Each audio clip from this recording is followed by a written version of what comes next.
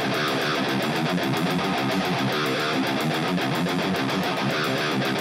you.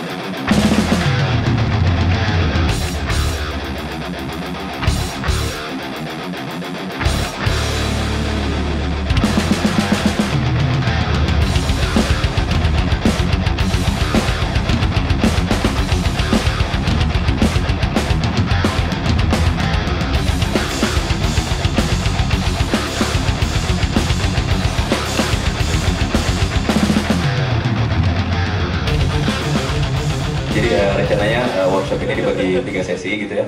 Eh, sesi pertama tuh tentang influence-nya Agung. Sesi pertama kita ngebahas itu kenapa ya cerita historinya Agung lah, kenapa bisa nyasap ke musik metal. Oke, terima kasih juga buat For Speed Lab sudah menyediakan tempatnya yang keren dan juga Super Musik ID yang sudah support kita untuk acara kali ini. Sama tiga negeri tentunya tepuk tangan buat mereka semua. sebetulnya hari ini teh ini kita sebenarnya pengen ngobrol-ngobrol aja sih lo oke jadi sama teman-teman teh udah lama juga ya kita nggak ngumpul-ngumpul gitu khususnya ngumpul-ngumpul gitaris lah gitu tapi kalau IGC oh ya teman-teman di sini ada Pak Ketua dari IGC Oh iya ini ada komunitas dari GC tepuk tangan buat Komunitas dari IGC juga ada Pak Dendi Pak Ivan ya atau nol terus lengkap Pak Ivan ini baru beli gitar PRS. Asli. harus dengar juga albumnya ya Iya benar Keren ya? benar. Ini gitaris Edan sebenarnya yang datang. Iya, jadi saya dulu cita-citanya pengen jadi pemain sepak bola. Serius, bang asli bang. Serius. Gue juga ketawa. Eh bener, emang pengen jadi pemain sepak bola waktu SD ya. Oke, SD. Waktu SD. SD. Ah, zaman ajat, sudrajat banget. ya dari ujung Brung lah, masih wilayah ujung Brung juga. Itu semua pada main gitar, pada bisa main alat musik. Ada yang main drum juga gitu ya. Dan saat itu seolah-olah kalau misalnya kita mau nongkrong tuh kita harus bisa main alat musik. Apa pun itu minimal gitar lah gembrang-gembreng mah gitu. Minimal nah yang nangkring di dia yang di aku nangkringnya nggak bisa main gitar gitu. Jadi dan pada saat itu masih musimnya VHS apa Betamax ya? Dulu teh video yang segini teh. Betamax. Betamax ya? Nah, kalau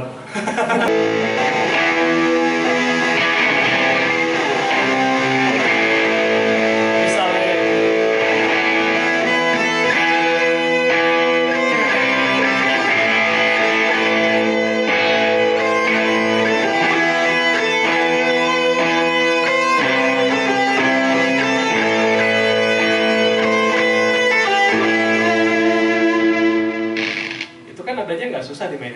Jadi sebetulnya ya saya juga main sama ya dari situ main ke ujung Berung gitu. Jadi ketemu banyak musisi di sana ya. Kita juga ketemu Akew juga di Jumbrung ya kayaknya. Akew di seberang aja pertama ya. Nama gitu.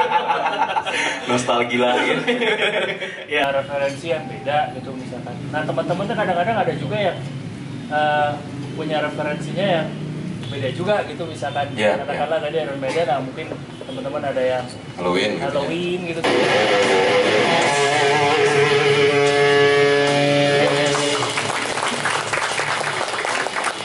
Ya oke kita kita break dulu 5 menit ya.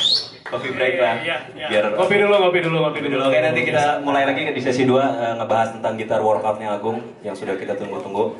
Kita mulai aja ya eh, sesi 2-nya tentang gitar workout Agung. Ini Gung, kalau dari sesi 2 nih, tadi kan banyak kan lo yang ceritain, kalau ini mas sekarang gue mau nanya terus weh. Jadi lo ngejawab. Contohnya kalau di thrash metal ag-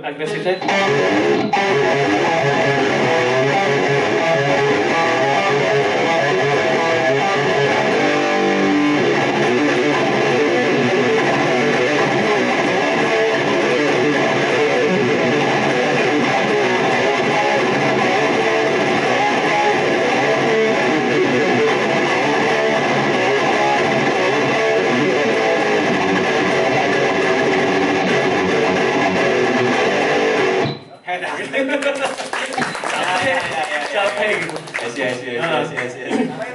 Hah? Oga. Cobain. Kalem, belum pemanasan kan? kan disuruh pemanasan dulu. Iya. Eh, jadi bisa ngeles gue. Nah, bakal nyobain. itu, ya itu untuk untuk untuk. Tadi itu lagu siapa, Gung? Itu yang pertama. Yang ini Exodus. Exodus. Exodus yang kedua. Terus yang ini Angelus Apatrida.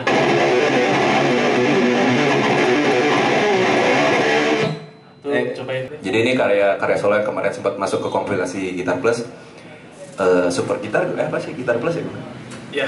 kompilasi eh, Nothing but guitar. oh nothing, but nothing, guitar. nothing but gitar yang dipublish sama Gitar Plus itu teh track kedua gue ya kedua. setelah Rontal Bumblefoot gitaris ya GNR sekarang dan, dan uniknya saat lagu ini teh kenapa pengen saya bahas ya lo baru ingat-ingat gue baru bahas Ya. Eh, eh, yang menarik dari lagu ini Agung akhirnya bikin karya solo gitu ya dan eta teh eh, nuansanya beneran instrumental metal gitu di situ gitu dan alumni langsung lah gitu setelah setelah beberapa bulan. Rilis Januari ya eta teh gue ingat banget bareng sama ya? album gue soalnya. Iya. Januari.